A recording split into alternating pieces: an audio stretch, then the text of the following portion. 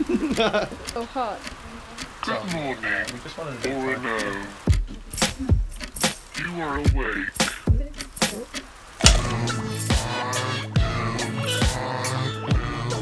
So freaked out. I felt violent for some reason. I don't know why, but I wanted to punch something and viciously murder it. Yeah, I feel, I feel I feel like I was feeling that. Like we did an interview just before we went on stage, and I, I was getting that kind of like Yeah. violent energy from you. Yeah. it was Orono's first ever show as well, so like I've I've played in a few different bands and stuff, but for you it was like your first time. Yeah, like what, 500, 600 people? Yeah. It's like, okay, cool. I need to murder something before I do this. this time I want to like pet a cat before I go. I'm a very calm person. She's got really zen. Yep. Tell yourself.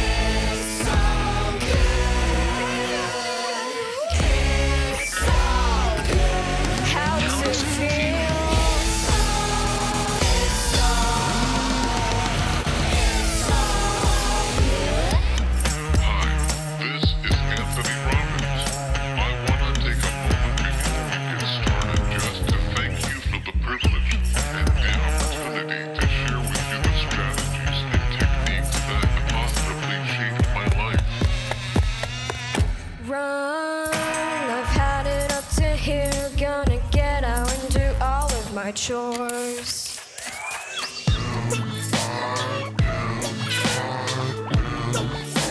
Yeah, so me and a couple of the others um, who are in Superorganism as well, um, we kind of done various music projects, like uh, different things over the years, and we were playing in a band uh, together in 2015, and we went over to Japan for I think it was only like 10 days or something, um, and we met Orono in Tokyo. Yeah. And then we had lunch together the next day. Yeah, we went to the Hard Rock Cafe, Went and then we went to the zoo. Yeah, um, and so yeah, we just kind of became friends in Japan. Orono was home for the summer because she was at school in Maine at the time. Um, so yeah, it was just a good timing, I guess, at the end of the day. Something for your mind. Mind.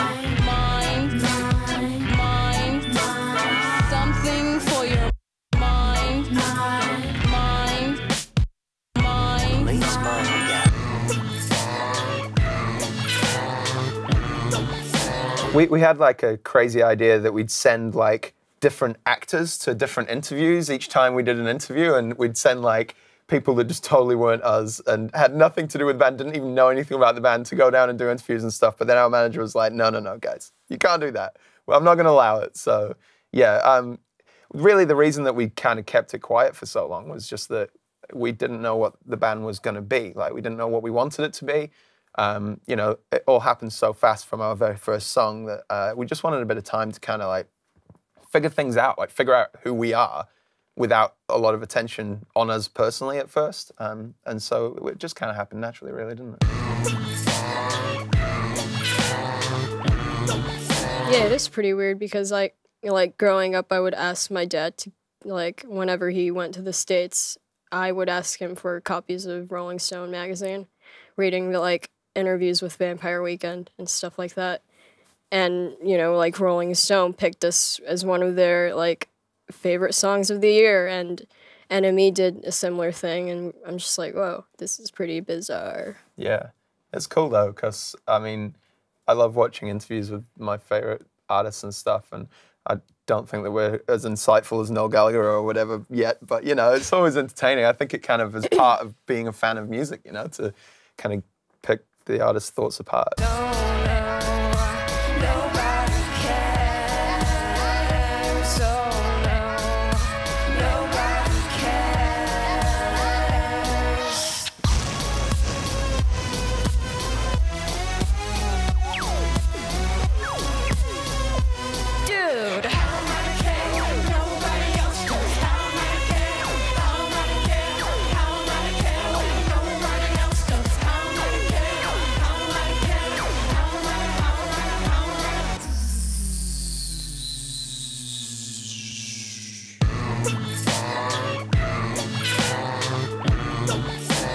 Many. Yeah, loads. I mean, like the Beatles, Kanye, Katy Perry. Weezer. Weezer, Pavement. Pavement. There's there's so many. Like I could keep listing these all day. I think you know the Beach Boys. We're all quite similar in that we love pop music, like of any era. Um, I've said this a few times in the past, but like I kind of see pop music as not bound by genre, which I guess might not make sense at first because pop it could be seen as a genre in itself. But I kind of see like I see a, you know "Cut Your Hair" by Pavement. To me, that is a pop song. It's concise. It's three minutes. It's catchy. It gets stuck in your head. And in the same way that "California Gurls" by Katy Perry is a pop song, they've, they've got the same kind of principles at the core, even though stylistically they're very different. And I think that that's something that unites us all. We like stuff from any era that that we could group as pop music, and we're, we're all kind of bound with that. Like we all are very much in agreement, agreement about that.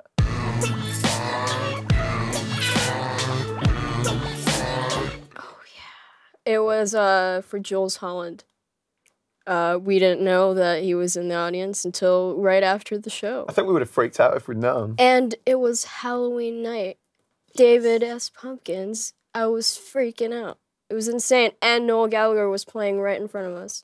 Yeah, I like to say that because at the end of Jools Holland, they, the, all of the bands jammed together. So that night, we totally jammed with Noel Gallagher in front of Tom Hanks. What the hell? Can on you believe it? On Halloween night. On Halloween. On Jools Holland. That was amazing.